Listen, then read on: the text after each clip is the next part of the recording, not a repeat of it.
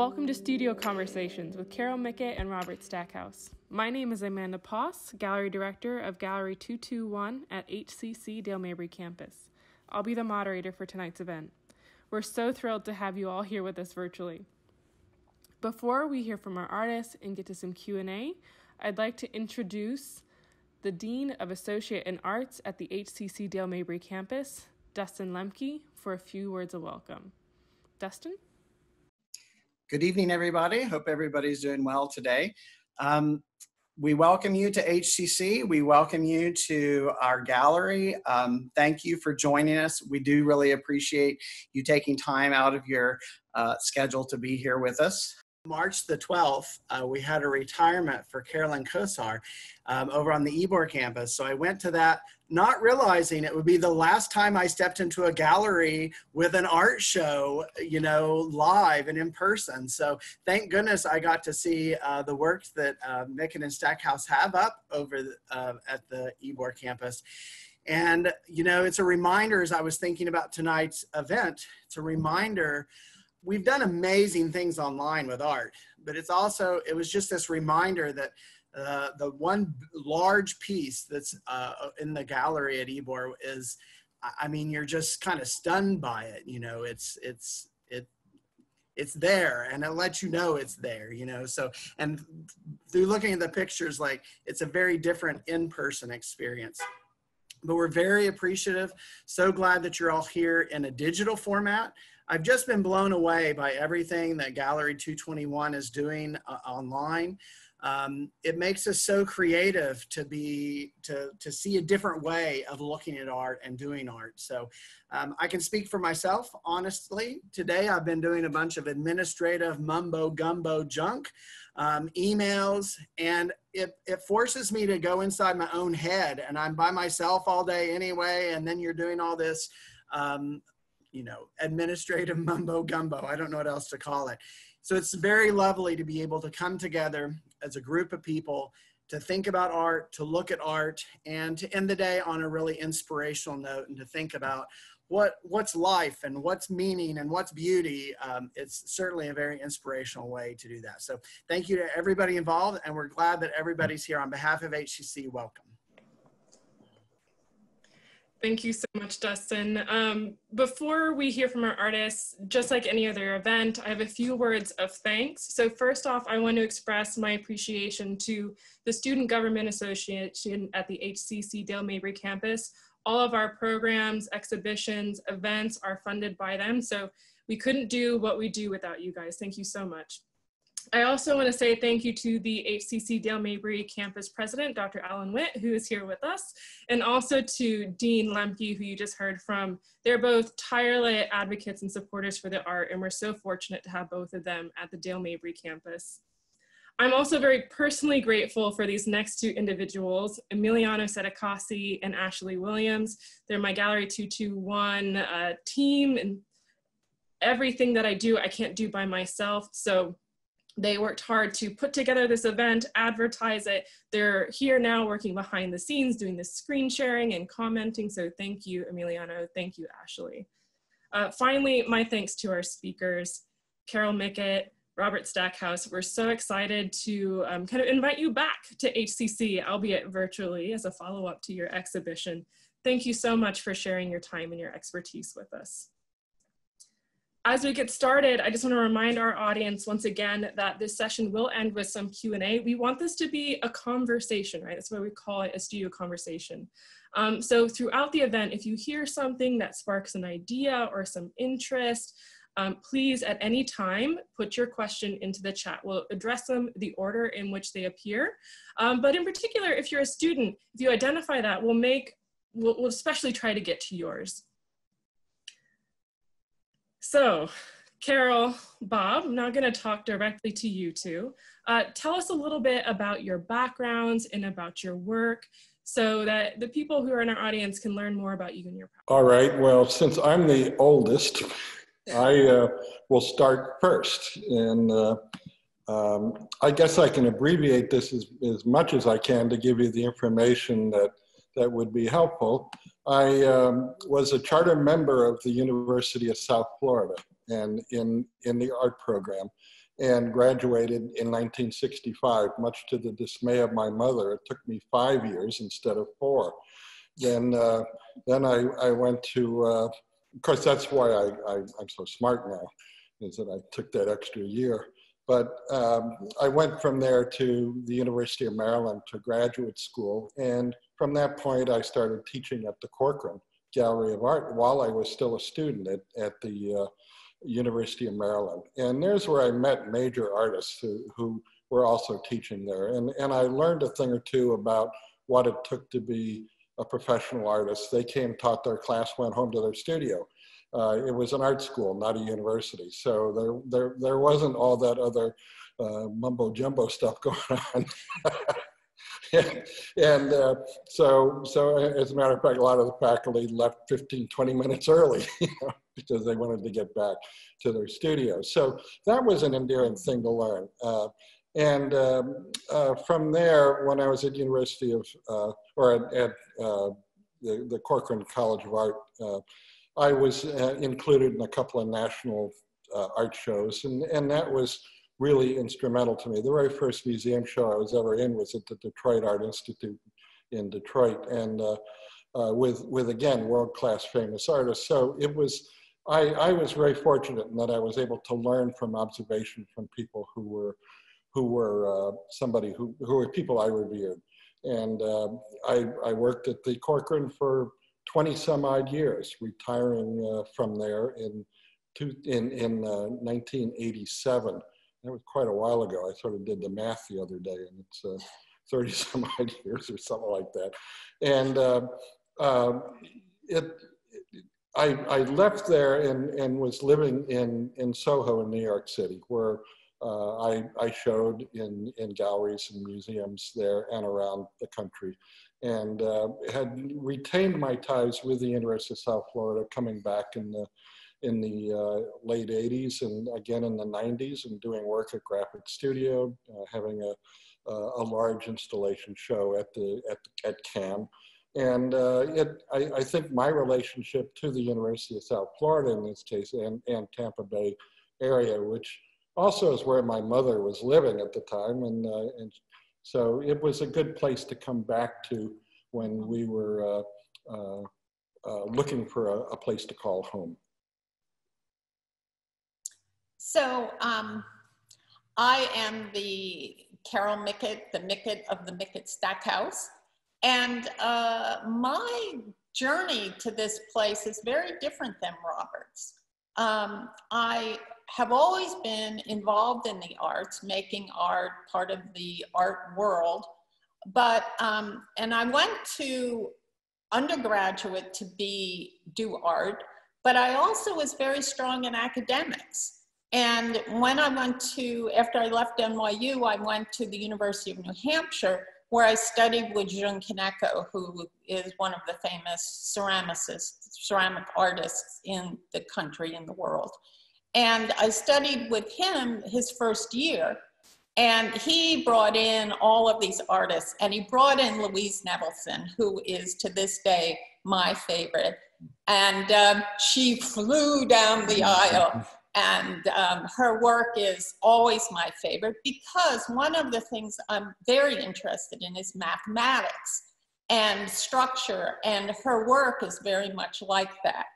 Um, but Jun left after my first year, and then I was, in a way, whisked away by um, the people in the classics department, the people in the history department, and the people in the philosophy department. And from that, I went to the University of Minnesota in Minneapolis, where I earned a PhD in philosophy and then became a philosophy professor. All the while staying in the arts, spending a lot of time in New York City. Um, and then I um, had many jobs and I ran a philosophy program. And I chose to leave because it wasn't doing what I needed to do. And I was starting to do theater then. So I left and I did theater. And then I was given a radio show called Art Radio, where I had conversations with lots of artists, put on plays, poetry readings. And it's where I met Robert because he was a guest. He, this was in Kansas City, and he was part of a foundation, and he was my guest on my radio show. And before I interviewed anybody, I spent lots of time with the person, finding out who they were. And then I was hired to make a movie about him. Um, An award-winning movie. Oh, yes, an award winning movie. And it was from that um, that we learned to collaborate together. And from that, that was in the late 90s, and we've been working together ever since. In the meantime, you know, I've published poems, I've written speeches for people, and, and I'm very involved in social issues. I've been on lots of boards. I'm currently on the board of the Pinellas County Urban League. And I'm working now that we live in Tarpon Springs. I very much support um, Peace for Tarpon. So, one of the things that we have found is, and Robert has this in his history as well, how important it is when you're making art to have a lot of content. And I think that that's one of the reasons why we work so well together is there's technical prowess, especially Robert, I have to say, but there's lots of conceptual content that we bring to what we make, that we think about what we're doing. And unless there's conceptual background and a lot of all sorts of knowledge, um, that's what feeds our work. You guys have such interesting and diverse backgrounds. And so I think that's particularly important. I'm so glad you guys noted all that for the students that we have in the audience that are probably trying to figure out their own pathways through education right Mhm. too. And you guys were in a lot of different things and you never know what opportunities are going to to spur something really momentous like your meeting for that interview, right? Um, and, and I, I should note you guys also were recently awarded from Creative Pinellas, right? You're our artist laureates. Yes, we have our so- crown. We're supposed to have laurel leaves. yes, absolutely. Um, so now I want to talk a little bit about your recent exhibition at HCC. So shortly before HCC closed its campuses in response to coronavirus, you had an exhibition at Gallery 114 for City campus. It was titled As the Gulf Turned, Turns. It was open from February through March. Can you tell us a little bit about that exhibition and, and talk a little bit more about some of the recent works that you made that were included in the show? Well, I think that if you look behind us, you can see some of that work and that large painting that the dean was talking about. Although it looks a little purple in this, it's really blue. That looks blue in that one. doesn't. Um, well, I'll just say, I mean, as the Gulf turns, we've been working a lot always about issues about water. And um, so we became very, very interested in the issues of climate change and um, how CO2 is becoming so prevalent in the water. And CO2 is what traps heat. And when there's too much CO2, the waters heat up. And as a result, we all know from science class that when things heat up, they expand. So the water expands. One of the reasons why we have get flooding. Also, it melts things, so it melts the ice at the poles, and when you have more water, you get flooding.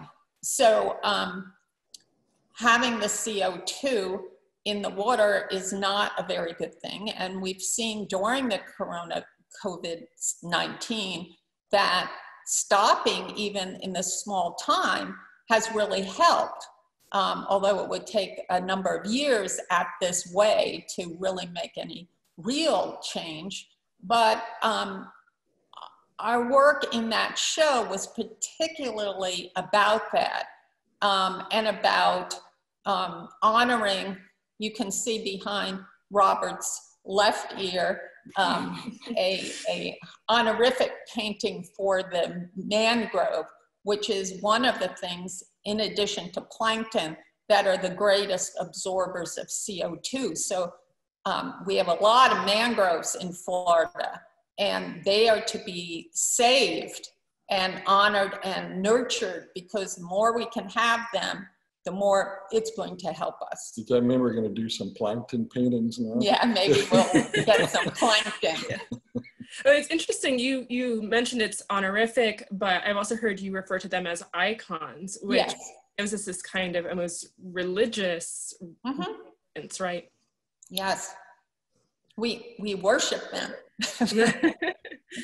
And the lot- live oak, which was the other one, the live oaks, big trees like that.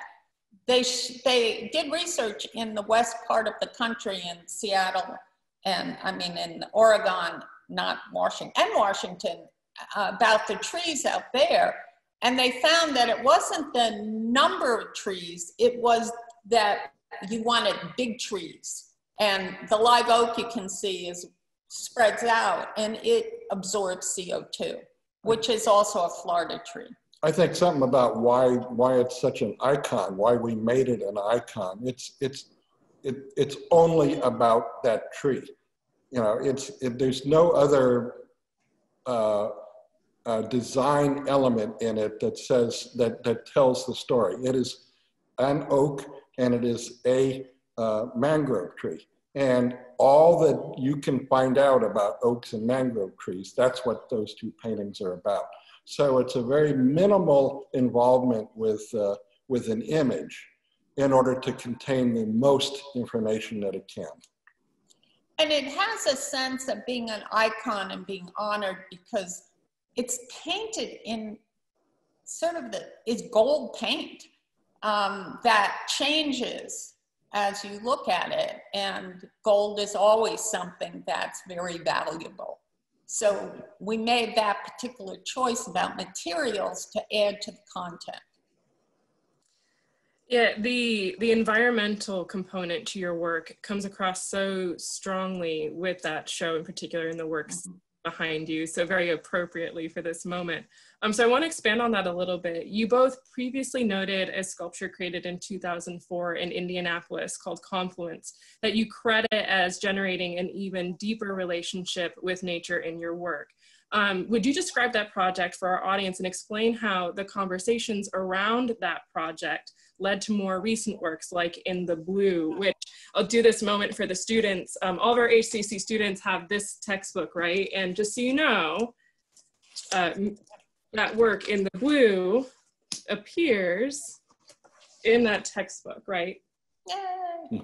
You can see it there. So guy up on top of us is no slouch. Yeah. right.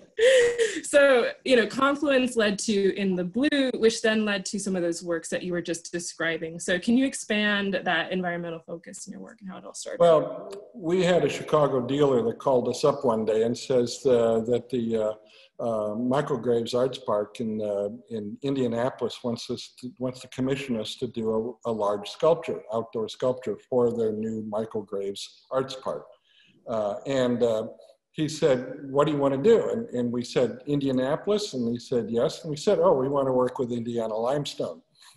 And there was a pause on the other side. I mean, he, he was our dealer. He knew us. And he said, uh, you've never worked in stone before. and we said, no, we haven't. Like a challenge. yeah, so we, we said, but what else would we work with in Indiana, Indiana limestone? So, so we uh, set it up and we went out to Indiana. How And, big is oh, it, it, it's 160 tons. um, uh, two, two about uh, 200 foot pieces and separated by about 500 yards. Do you have a picture? of? They're, they, they were at one point together.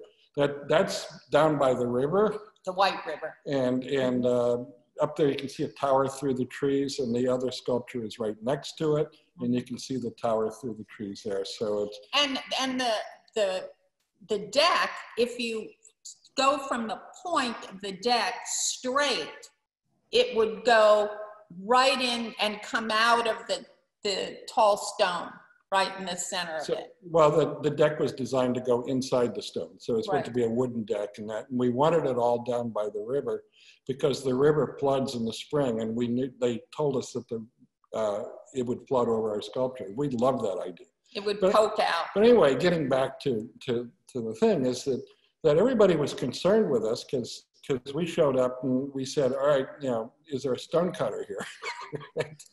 and they said yes, and they had stone stone carving in their school. So uh, the guy that was there showed us a few things with a chisel and uh, how to use a pneumatic thing, stuff like that.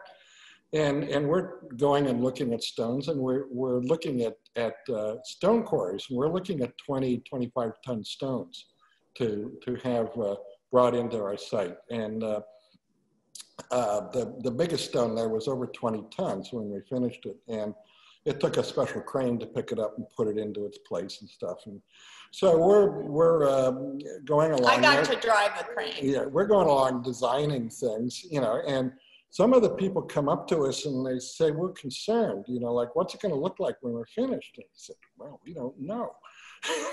and and uh, then they, uh, they, they were really concerned because they say normally when somebody learns a new medium, they do something small. and he said, well, this is a commitment, you know, we'll, we'll, we'll figure this out we'll make it work, you know. And uh, so, so we, we did. And, and uh, the, the stone guy, the, the, the master stone cutter that was there said, they haven't told you yet. And we said, what have they not told us? He said, I'm not going to be here. So all of a sudden, our, our go-to guy wasn't going to be there. And we did hire a, uh, a stone cutter from Senegal. Oh, yeah.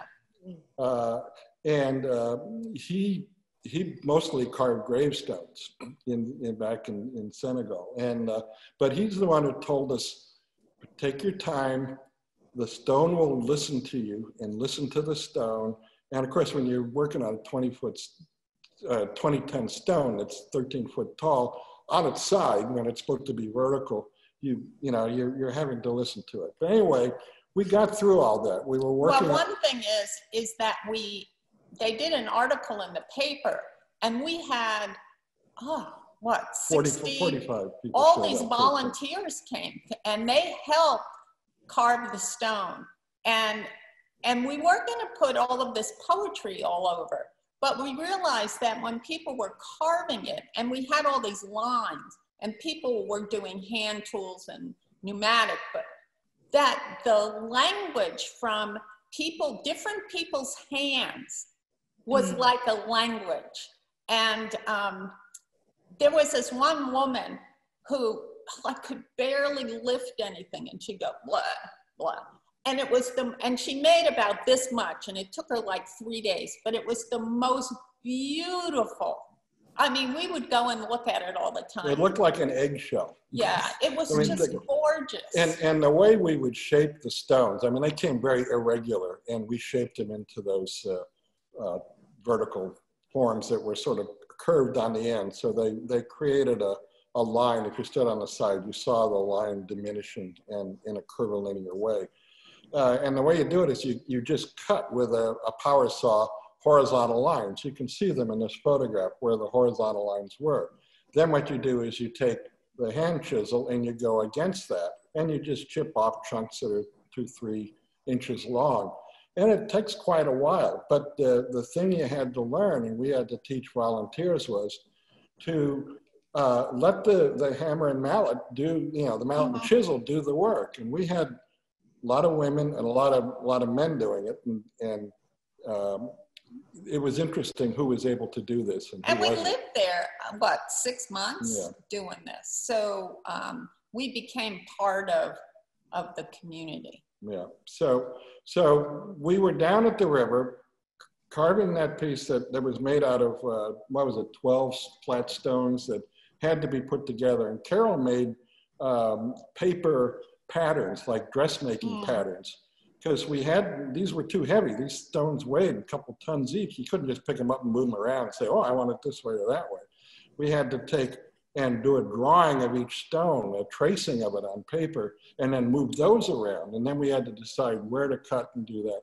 And if you look at that photograph of the, of the piece uh, down by the river, the, the very flat one, uh, if you could bring that up again, um, you can see um, that it, it uh, is very, very solidly made. You can see the horizontal cuts, but it doesn't look like it's a number of stones. So one thing, um, back to what you were alluding to earlier, Amanda, I mean, when I was young, um, when I was in, well, I still am young, but when I was in junior high school, I had to take home ec. And one of the things I had to do in there was make a dress, which, you know, I didn't know how to do that. My mother didn't sew, but my next door neighbor did.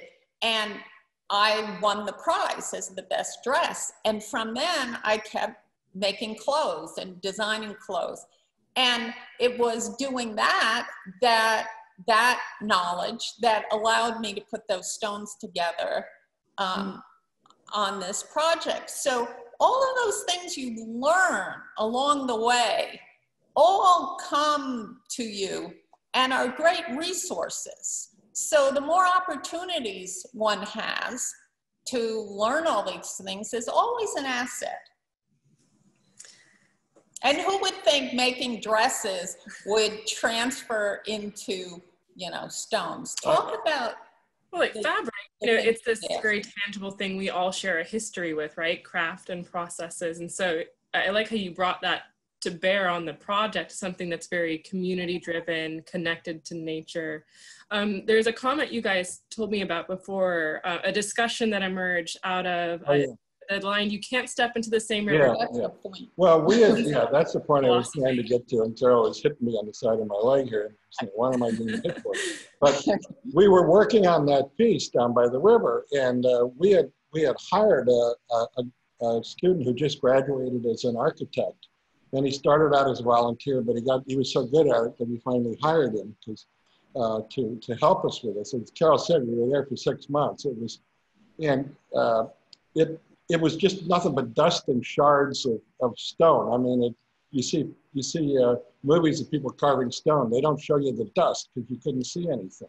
But you know, so the dust was all over the place. And uh, so so they were talking. They were they were just discussing some uh, pre-Socratic philosophers, and uh, they mentioned uh, how you couldn't step into the same river twice. Heraclitus. Heraclitus. Heraclitus. Heraclitus. And and I I only caught part of this conversation, but I heard you can't step into the same river twice. And I sort of looked up and I, I said, hey, what a great concept. An artist could spend a lifetime trying to work on that. And uh, so we laughed about that a little bit and then went on and forgot about it, basically. And, and then when we were doing In the Blue, the, the piece that's in the part of the part of the piece, that's in the, the book, we, we looked at each other when we were installing that thing and we said, wait a minute, we're stepping into that river. Right. And, and there's different ways of stepping into the river. There were four different uh, configurations of, of how you go through this blue structure. So uh, that, that was really something. That was the beginning of our understanding that you can just take something like that and not even think about it, but it's, it's so, Mhm. so becomes so, it permeates so much into your, your creative And the thing about In the Blue is it's four different rooms and it's circular. And each room had a whole different feel to it. And and so you'd walk through it and then you'd go through again. And it was like you couldn't step in the same river twice because each time you went through, Mhm. you were one a different person it's a different time um, but you had a whole different experience and in a way you know from that uh, we continued to make places and one of the things about in the blue that became really clear is people really like to be in it Mhm. and when we were taking it down we had a person that wouldn't leave I mean, he crawled in it and he said, No, you can't take this down. I want to be here. I And felt like a sense of ownership almost. Yeah. Yeah. people Yeah. really like being in there. And they chose different rooms because each room had a different temperament. And it was fascinating to see who who chose which room and and why. And we would talk to them, and people had all of these wild theories about what was going on. Um, and from there, I think that we started to think about making places in a way to create spaces for people to feel safe in, to have a place outside of the stress of their life. Um, and you can see in, in those, those big um, installations, sculptures that we've done that we've continued to do that. Now, it was the, the dean mentioned the the large painting in the show at the, the Ybor campus, and that that is also related to place because mm-hmm. uh, um, I, I remember walking uh, the artist Jules Olitski through the Corcoran Gallery of Art one day, and uh, he said uh, there's a special place to stand in front of these paintings, and if you get too close, you miss it. If you're too far back, you miss it. So he says there's a place to be when you're in front of a painting, and that's a what color field painting. Yeah, it's a color field painting, and so uh, what it what it did is his painting lifted off the canvas and sort of made a hologram in, in between you and the canvas. And if you weren't there, you wouldn't notice it. And it was I, I frankly, as an artist and teaching art, I didn't know that until he told me. Uh, so, but that was that that was. Uh, uh, my first understanding that a painting is a place. You're directing a, the universe. You're taking a segment of the universe. And it, it's like when I was taught to stand in front of a Jackson Pollock drip painting and watch it go off your peripheral vision. Uh, and that's what its horizontality was all about, was going beyond your peripheral vision, which you see in this large painting, is that the, the, uh, uh, the, the, the, the lines of the currents of the world go off the canvas. They go beyond our peripheral vision. Um, the Gulf of Mexico is inside a border. And if you know that, so that's local and there's global. So mm-hmm. uh, that was all, you know, how painting and sculpture can sort of superimpose on, on top of themselves. Sculpture is a, uh, is a place, obviously, because it's three dimensional and it's an object. And if you walk into it, it, it's architectural. But also is, is a painting, and that's one of the reasons for the scale of that painting, is it creates a place to be. If Can we go and look at the Richmond um, sculpture? That one. That one, Clear Passage. So um, this is, Clear Passage um, is in a lobby in downtown Richmond, and it's with that mosaic, River Song, and then it has these flow lines. And so this is all in one lobby. And it combines in a way the, this two-dimensional work we do with the three-dimensional work. And then the flow lines, which connect, if you extend them, the James River and the other way, the Capitol building in Richmond. But this was indeed a place um, created, it's the main tenant in this um, buildings a giant international law firm. So it was to really to create a safe place for people so that they could get out of the hubbub, but you could also be safe because you weren't, you could see, but you could also see this giant mosaic of the James River. And one of the things it did, and this was part of what we had hoped, and we got a lot of feedback, is people would come, you know, to work every day and they just felt happy and proud because they had this environment. I mean, how many people have an environment like this? And um, I mean, we were fortunate to uh, to be able to make this. Well, you, you look at this piece here, and, and it's, it's 43 feet long and uh, 16 feet high and 14 foot wide. Those are two 14 foot benches in the middle. Uh, and uh, you can sort of see them from, from this view. And uh, then it's covered with 72 panels of clear industrial glass. There's no tint in it, so that's why it's sort of invisible. It's all made to be reflective and uh, it's reflective in many ways. Mm-hmm. Even across the street, it's reflected. So we thought about charging the, the building across the street for having our sculpture over there too. But the thing about this is it's, it's a place that needs to be comfortable, that needs to be about safety, but it's, it's two, three tons of glass sitting up there. Mm.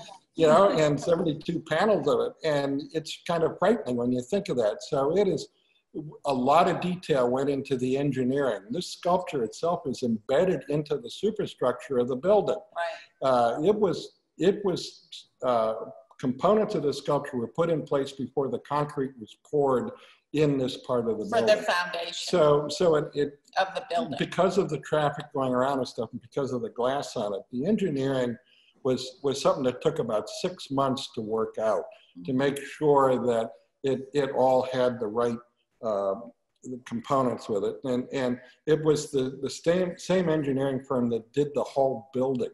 So, so they were the master engineers that, that covered this. And one thing about this, just like with Confluence, we were there when this was both the mosaic was being put in. We went to Germany a lot when the mosaic was being constructed um, with Franz Mayer in Munich. Um, but we were there for months and months.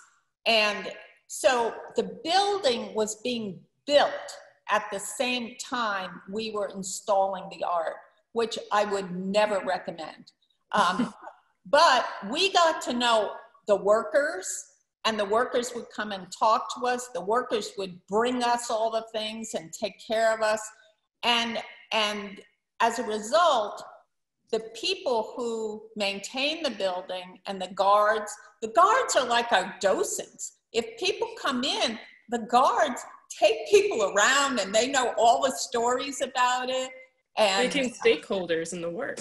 Right. And and also this whole idea of you can't step in the river twice. So the law firm in their diversity catalog have this whole thing about our mosaic and, and the sculpture. And the first thing they say is you can't step in the same river twice. Absolutely. So all of the art, it's a really incredible way to show how art, you know, can be used and can permeate ways in which people think about relationships and how to how to get along.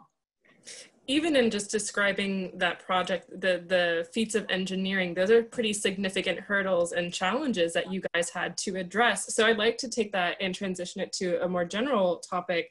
Um, what are some of the biggest challenges you've had to overcome in your careers and, and how did you work through them Well, we both questioned each other about that, and we both have almost the same challenge. So, Well, well, at least one of the big challenges is having left academia and a sense of identity, um, and to take a leap in that river um, and um, sort of say, okay, um, I'm going to take this different path because this different path I think will will suit me better, which I think it has. Um, and that's that's a major challenge um, when you have an identity and that people think of you in a certain way, and then you say, oh, "Okay, I'm doing this other thing." So that was a major challenge. um, in 1984, I was commissioned by the Australian National Gallery to do a large installation in their outdoor sculpture park. And uh, uh, at the same time, I was teaching still at the Corcoran College of Art, and I was living in Soho in New York.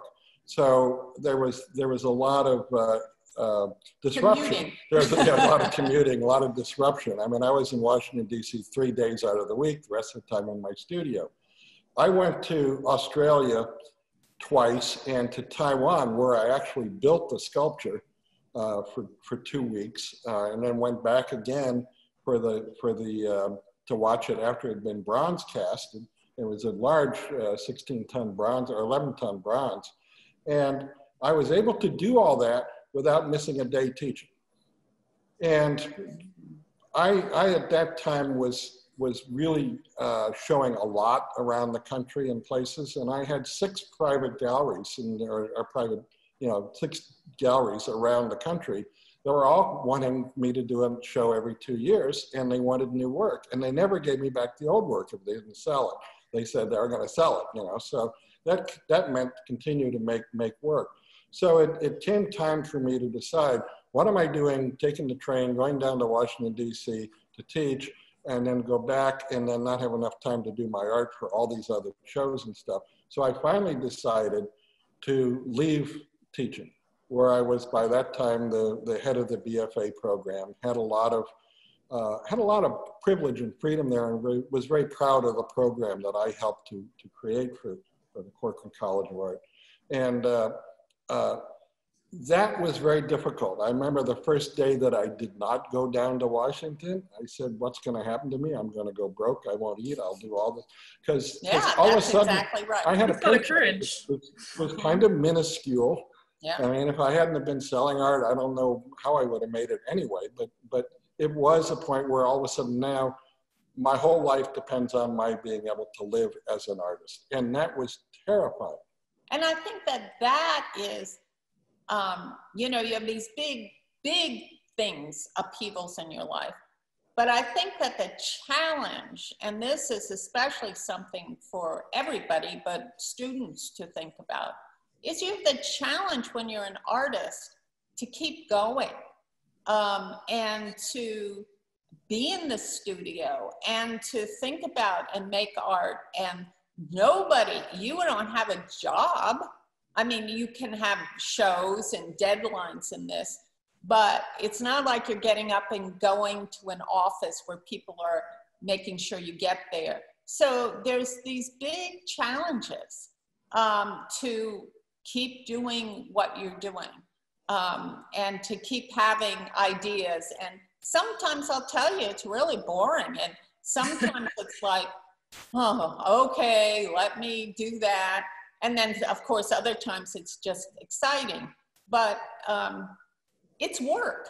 And I, I think that, you know, this is a romantic artist thing, but um, Only if you live in Paris in a garret. right, Wear a beret every day. with a beret. Yeah, right. Yeah, yeah. What I'm hearing come through all that is this notion of perseverance in, in the face of things Absolutely. It's a, it's, scary it's a and marathon. unknown.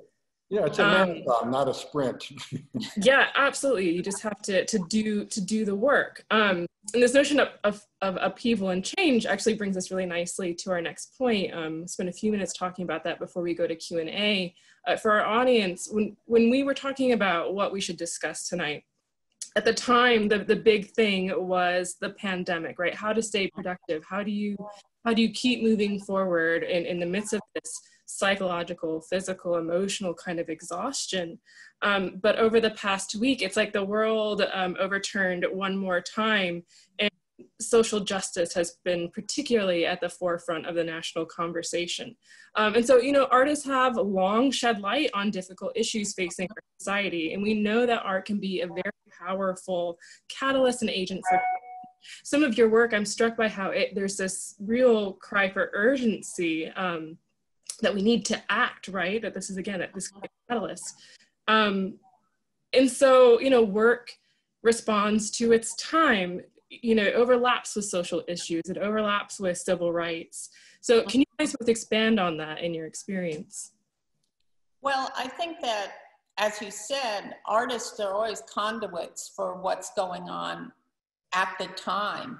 And I think that we're conduits in different ways, some more right there, literal. And we've been seeing with the murder of Mr. Floyd, we've seen a lot of artists quickly um, do murals and um, related directly to um, the murder and the protests. And that's been so powerful. Um, I think that our work with climate change has some parallels, although not in terms of direct issues about racism, but it has a direct connection between systematic denial. And that you see um, in, with issues of racism, the systematic denial that this stuff is going on. And that's primarily by white people. I mean, black people know what's going on all the time because they're living it. And I think that with climate change, you have a systematic denial. You see all of this stuff happening, but you want to maintain the status quo because that's just what you do. And it's easier to do that. And for a big bunch of people, they make a lot of money that way. Um, and so um, doing these sort of parallel um, issues is an important thing. And I expect and hope, and I know that it's going to happen, is some incredible art is going to come out of a horrible situation. And um, one can, and a lot of transformation, and especially now that we've been in seclusion, and a lot of things are, are sort of taken away, cobwebs are moved away from our eyes because we've been so involved before that. We do, do, do, do, and we don't have time to look. And now we've had time to look, and things are very different. And I'm very hopeful that we'll have substantive transformation in, in things across the board, but primarily with issues of racism and um, law enforcement. Well, I think the in, in troubled times, the importance of, uh, of, of the arts, you know, big capital arts, uh, mm. is is uh, it's really it's really a, a, time to be, you know, a young artist, really. Oh, yeah. Uh, because because you can you can you can do a lot of formation uh, with the outside world as, as with your own mm-hmm. inner involvements in it and you look at art history and you can see this kind of uh, mm-hmm. uh, working this way. I mean, the issues are, are provocative and, and it makes for provocative art. And uh, uh so, uh, you know, it's, I, I, remember I was with a class when the World Trade Center came down and I, I, I said, you know, it's been relatively peaceful up till now, except for anybody who's over in Afghanistan or wherever. But for us, I mean, what we've experienced in, in our place uh, in, in home here on the home front. Um, it's, it's, it, it's something that has been building and building and building. And, and I think, I think young, young ah. creative people are going to be very important going on. I think it's their future. I think, you know, for both Robert and I, um, you know, being in, growing up in the 60s and the 70s during um, civil rights during the Vietnam War, the women's movement. I mean, that cut our teeth on, on politics and social justice. I mean, when I was a junior in high school, I was handing out on the corner in New Brunswick, New Jersey, pamphlets against the war. Um, and I think, how did my parents let me do that? But, you know, as Robert says, they thought she'd grow out of it. Well, little did they know. Um, but um, you know, these are, I mean, lots of protests, lots of demonstrations, lots of this. And now these young people, and the protests, there's a lot of young people and diversity of young people. I mean, this is going to shape their lives. You know, this will be, inform them for the rest of their lives. And I say we're really lucky that, you know, there's a change happening. Yeah. Change are coming. Yeah. So I want to now kind of shift gears and open it up to questions from our audience. If you haven't asked your question yet, go ahead and, and start typing that in, but we've had a few. So um, Ashley, will you tell us our first, first question from the audience? Perfect. Well, thank you all for your comments and questions tonight.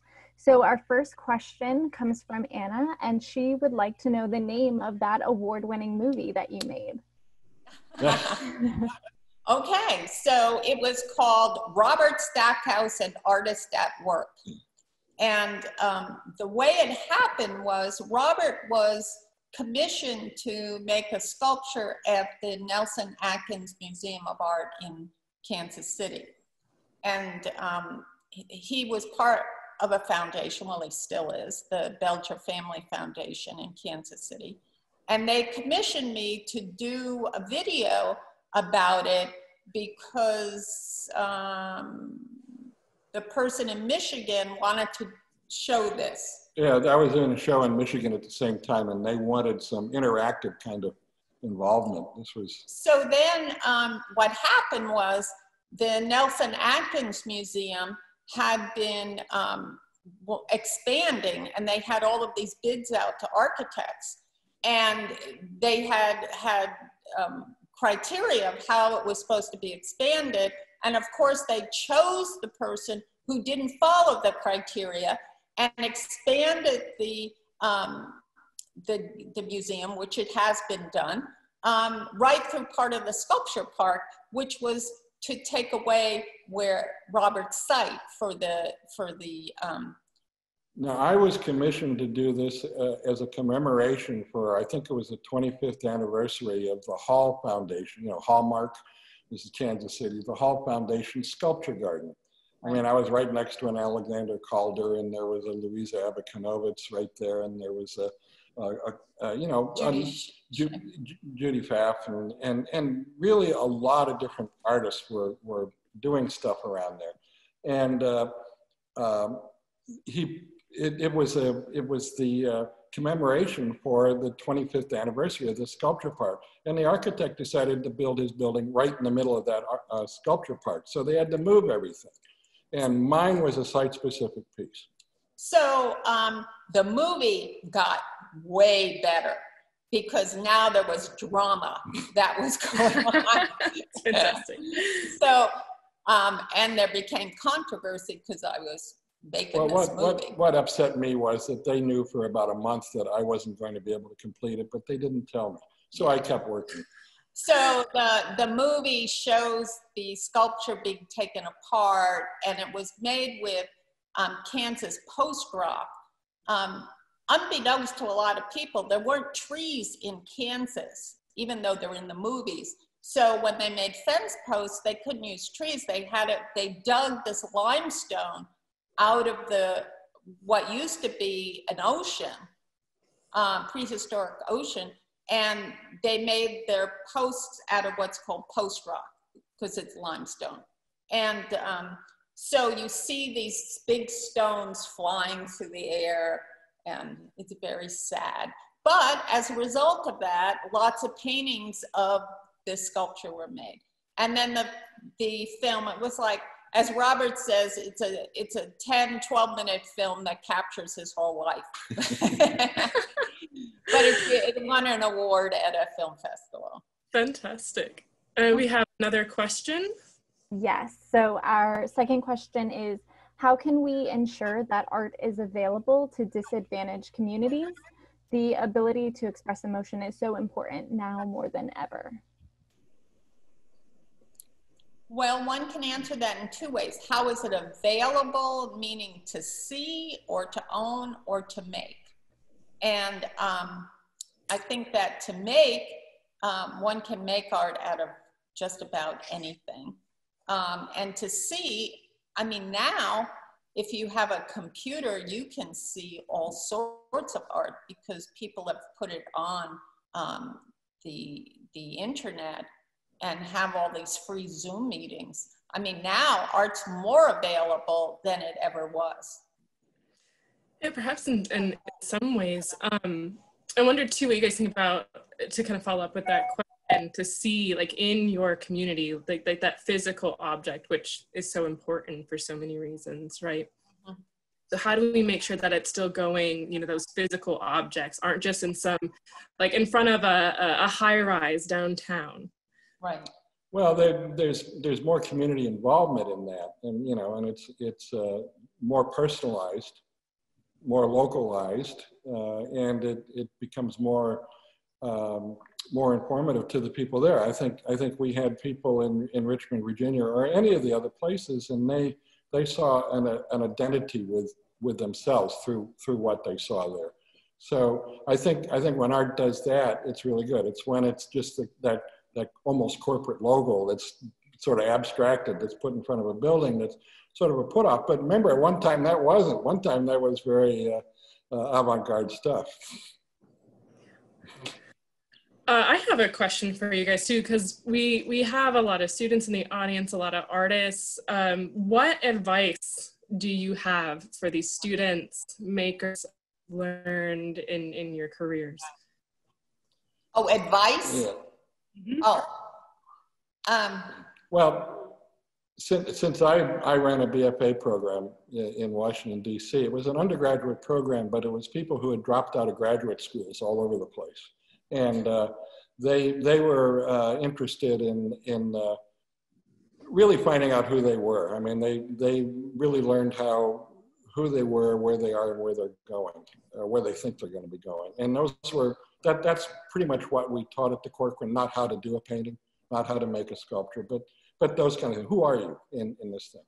And um, not a lot of them became artists or famous artists. A number of them did, um, but uh, it was their own choice. I mean, they they received tools and information about things to do. They went on to other very interesting things that they wanted to do as much as being an artist. I think Carol alluded to it before.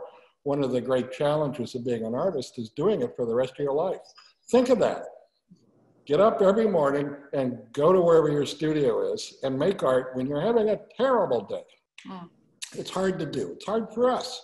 I mean, we have other things. It gets in our way. Things get in our way. Oh, I'm not going to go to the studio. I mean, I can't do that today because I gotta, I gotta do yard work or something like that. You know, it it it it gets in your way, and and in order to keep doing this, it is very very difficult, and you've got to really love what you're doing.